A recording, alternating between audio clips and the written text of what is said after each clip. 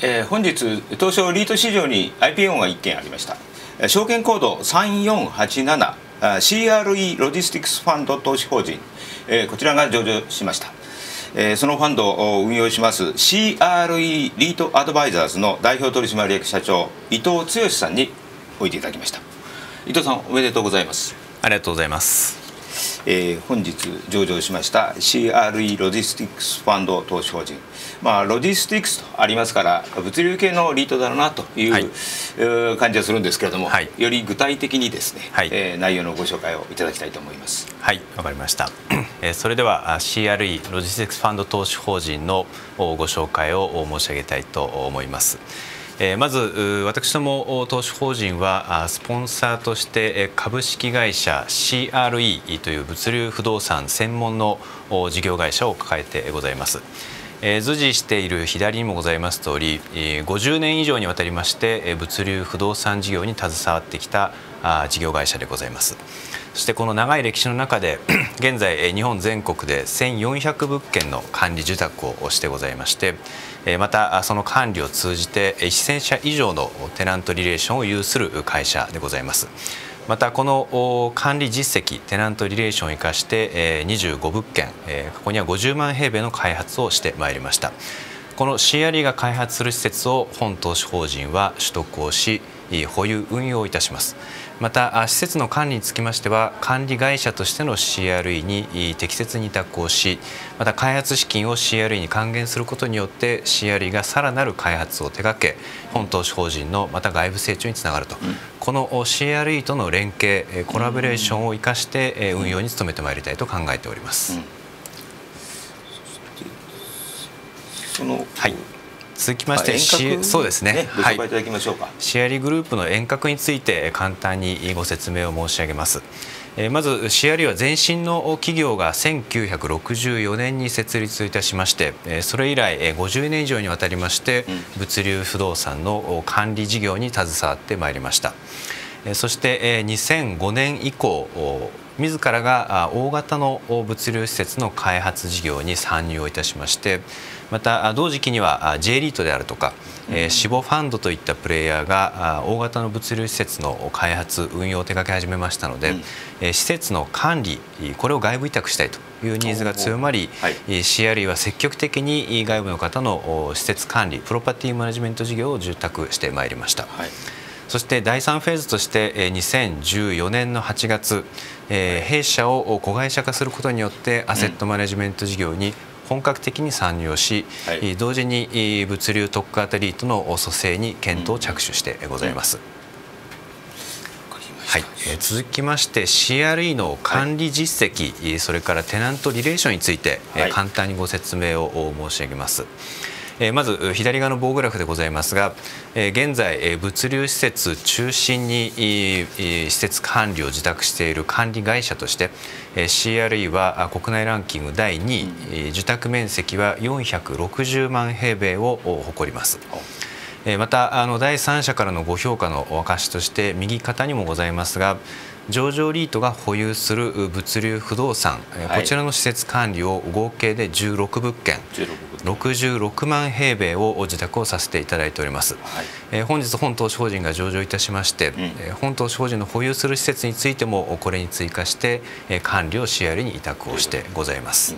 はい、はい、そして右下の円グラフにもございますが、はい。え現在テナントとの契約関係があるテナントは1080社を超します、はいまた特徴として、えー、その中で、えー、運輸サービス業いわゆる物流事業者様は3分の1程度に過ぎません。はい、えー、その他については製造業卸売業小売業といった荷主の方々と直接賃貸借契約を締結できるのも CRE の強みであると考えてございます。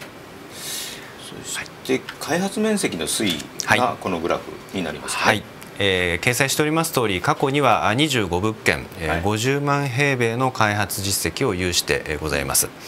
そして今回取得予定物件として7つの物件の写真が掲載をされていますが、ね、はい、2016年7月期に竣工した2物件そして2017年7月期に竣工した4物件、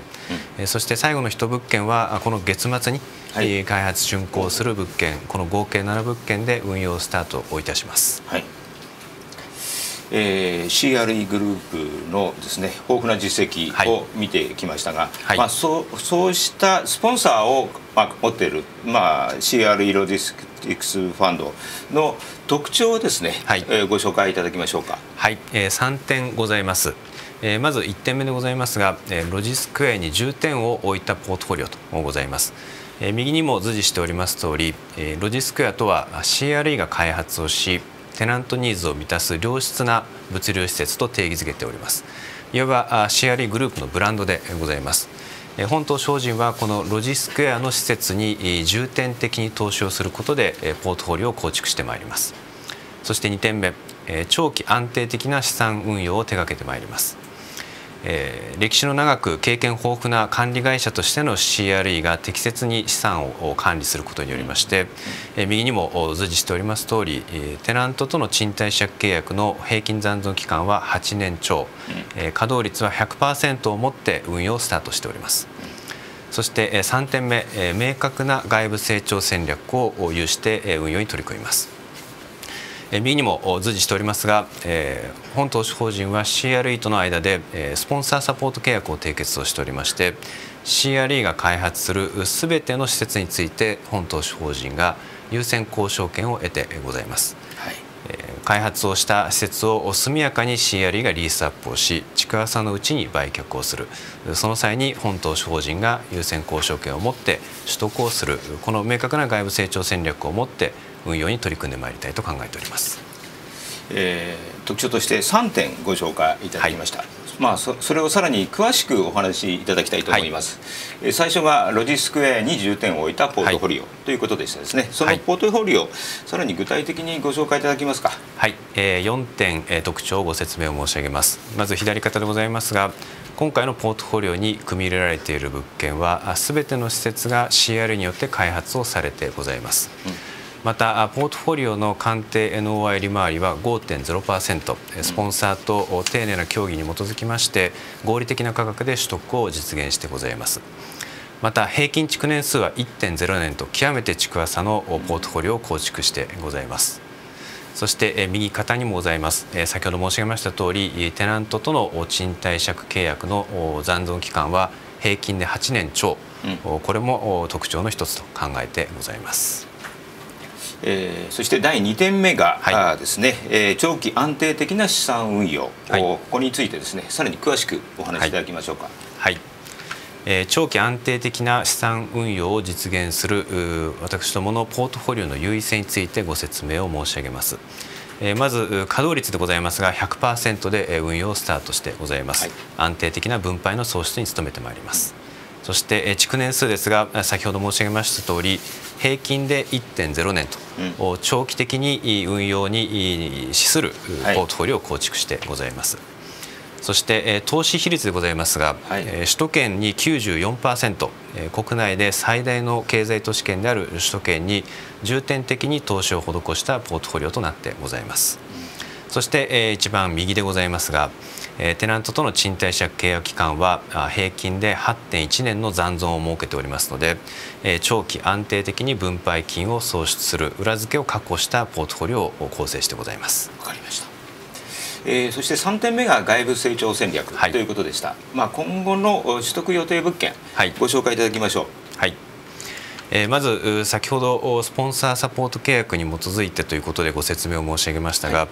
え本投資法人は CRE が開発するすべての施設について優先交渉権を有してございます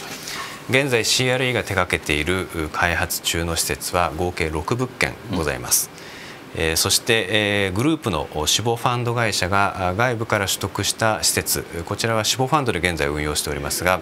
やはり優先交渉権を得てございます。この合計7つの物件を優先交渉物件として将来の外部成長のネタとして確保してございます、はい、はい、上場時のポートフォリオが7物件で合計21万平米でございます、はい、そして優先交渉物件の合計が右下にも掲載があります通り12万平米を確保しての運用スタートとなってございます、うんえー、そして、えーまあ、大事な点なんですけど分配ですね、はい、この間の分配の実績と今後の予定をご紹介いただけますか？はい、えー、まず本投資法人は2016年の7月より上場前の死亡運用ということで、えー、3期1年半にわたって運用してまいりました。はい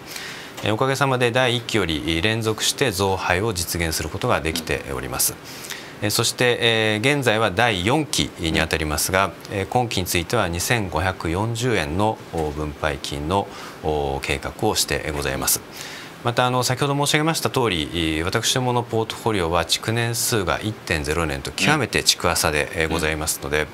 減価償却費見合いで、うん、えー、大規模な修繕費用が発生することはほとんど見込んでおりません。はい、従いまして減価償却費の30%相当については利益超過分配金として、え、うん、投資主の皆様の安定的な運用に資する分配金を遂げてまいりたいと考えております。わかりました。予想配当利回りはかなり高いようですね。はい、えー、公開価格11万円に対しては約5.5%を見込んでおりますので、はい、純子ベースで5.5%見込んでおりますので、はい、はい、えー、より高い利回りを提供してまいりたいと考えております。わかりました。えー、最後に、はい、えー、投資家の皆さんにメッセージを送っていただけますか？はい、こちらのカメラからお願いいたします。はいえー、本日、えー、無事に、えー、東京証券取引所に上場を実現することができました、えー、非常にあの不安定な環境ではありましたが、うん、えー、こうした環境の中でもあのご支持を賜りました、えー、投資主の皆様、えー、そして長きにわたりまして、えー、ご支援を賜りました関係者の皆様には厚く御礼を申し上げます。えー、今日からあのスタートということでございますので、えー、明確な外部成長ということを実現し極力投資主の皆様の価値向上にえー、貢献をしてまいりたいと考えておりますので、えー、長きにわたり応援をしてくだされば幸いと考えております。本日はどうもありがとうございました。えー、本日新規上場しました CRE ロジスティックスファンド投資法人を運用します CRE リートアドバイザーズの伊藤社長においでいただきました。どうもありがとうございました。ありがとうございました。